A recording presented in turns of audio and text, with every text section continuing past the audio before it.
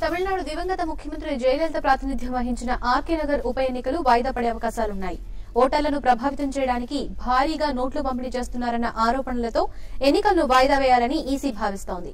తాజాగా ఐటీ అధికారులు చేసిన దాడుల్లో అధికార పార్టీకి చెందిన మంత్రులు నేతల ఇళ్ళలో భారీగా నోట్ల కట్టలు దొరికాయి. ప్రచారంలో దాదాపు వంద కోట్ల రూపాయల పంపిణీ జరిగిందంటూ ఇప్పటికే ఎన్నికల సంఘానికి సమాచారం ఇచ్చారు ఇన్కమ్ ట్యాక్స్ అధికారులు. దీన్ని పూర్తి స్థాయిలో పరిశీలిస్తున్న ఈసీ ఉప ఎన్నికలను తాత్కాలికంగా వాయిదా వేయాలని నిర్ణయించినట్లు తెలుస్తోంది. దీనికి సంబంధించిన అధికారిక ప్రకటన త్వరలోనే వెలువడే అవకాశాలున్నాయి.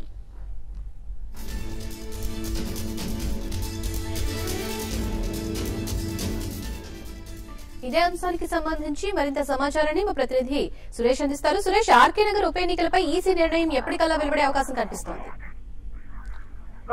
చెప్పాలంటే చెన్నైలోని ఆర్కే నగర్ ఉప ఎన్నికలలో కూడా పలు పార్టీలలో పలు విధాలుగా కూడా ప్రయత్న- ఓటర్లు మభ్యపెట్టేందుకు కూడా ప్రయత్నిస్తుంది ముఖ్యంగా చెప్పాలంటే అధికార అన్నా డిఎంకే ప్రతి పార్టీ అలాగే పన్నీర్ సెల్వం నేతృత్వంలోని పురక్షిత అమ్మ పార్టీ కాకుండా డిఎంకే పార్టీ అలాగే దీపా పార్టీ దీపా పేరవై పార్టీ తదితర పార్టీలతో కూడా పలువురు ఇండిపెండెంట్లు కూడా ఓటర్లు మభ్యపెట్టే విధంగా భారీ ఎత్తున కూడా డబ్బులు పంచుతూ కూడా ప్రజలు ఓటర్లు మభ్యపెట్టే వారికి కూడా ఇక్కడ భారతీయ జనతా పార్టీతో పాటు పలు పార్టీలు కూడా ఎన్నికల కమిషన్తో ఫిర్యాదు చేసింది ఇక్కడ డబ్బులు ఓటర్లు విరివిగా వచ్చి కూడా కోట్లాది రూపాయలు ఇక్కడ ఆ, అసెంబ్లీ ఎన్నికలు ఈ ఉప ఎన్నికలు ఉపయోగిస్తున్నారని చెప్పేసి వాళ్ళు ఫిర్యాదు చేయడం జరిగింది. అయితే ఎన్నికల కమిషన్ కూడా పలు అధికారులు కూడా ఇక్కడ ఉన్న పోలీస్ అధికారులు అయితేనేమి రెవెన్యూ అధికారులు అయితే అందరూ కూడా మార్చినప్పుడు కూడా ఎటువంటి మార్పు రాకుండా కూడా ఈ రోజు మేము ఆ, తమిళనాడు ఎన్నికల కన్నా అధికారి రాజేష్ లకాని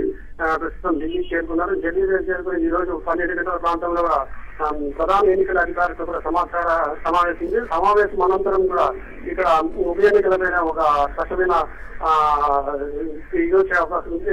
ఇక్కడ గతంలో కూడా అరవై గుర్చి తమిళనాడు అరవై గురించి కూడా ఎక్కువగా పెద్ద ఎత్తున కూడా మాట్లాడడం కూడా డబ్బులు పంచిన ఆరోగ్యం కూడా ఉప ఎన్నికలు వాయిదా వేయడం జరిగింది. ఆ విధంగా కూడా ఇక్కడ చెన్నైలోని ఆర్కే నగర్ ఉప ఎన్నికలు వాయిదా పడే అవకాశాలు ఉన్నట్లు కూడా తెలుస్తుంది ఈ కరోనా. అయితే పార్టీల వ్యూహాలు ఎలా కనిపిస్తున్నాయి సురేష్? ఇప్పటికే మీరు చెప్పినట్టు డబ్బులు పంచారంటున్నారు. అంటే ఇప్పటికీ కూడా ఇక్కడ దాదాపు వంద కోట్ల రూపాయలు కూడా ఇక్కడ ఆర్గనైజ్ ఉప ఎన్నికల్లో కూడా చేతులు మారినట్లు కూడా కూడా ఫిర్యాదు అందులో భాగం కూడా రెండు వేల కూడా రాష్ట్ర వైద్య ఆరోగ్య శాఖ మంత్రి ఆ, విజయభాస్కర్ ఇంటి మీద కూడా ఏసీ ఐటీ అధికారులు కూడా దాడులు చేసి దాదాపు ఎనభై తొమ్మిది కోట్ల రూపాయలు మొత్తాలు అవి కూడా స్వాధీనం చేసినట్టు కూడా ఈ నేపథ్యంలో కూడా ఈ పర్యవసానమే కూడా ఇక్కడ ఉప ఎన్నికలు వాయిదా పడే అవకాశాలు ఉన్నట్టు కూడా పలు పార్టీలు కూడా తెలియజేస్తాను రైట్ సురేష్